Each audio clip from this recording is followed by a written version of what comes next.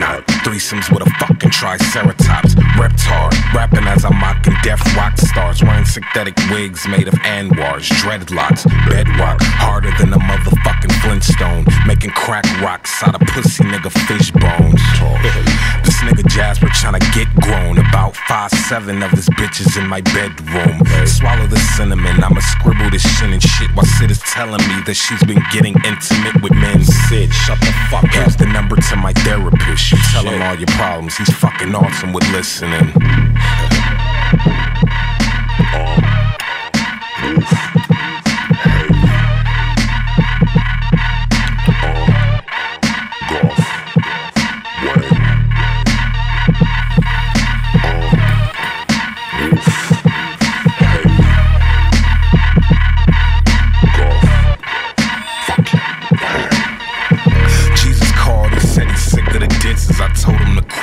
Quit bitching. This isn't a fucking hotline for a fucking shrink. Sheesh, I already got mine, and he's not fucking working. I think I'm wasting my damn time.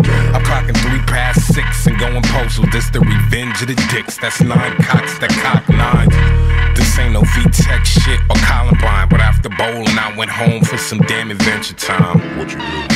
I slipped myself some pink zannies and danced around the house and all over print panties. My mom's gone, that fucking broad will never understand me. I'm not gay, I just wanna boogie to some Marvin. What you think of Haley Fuck her.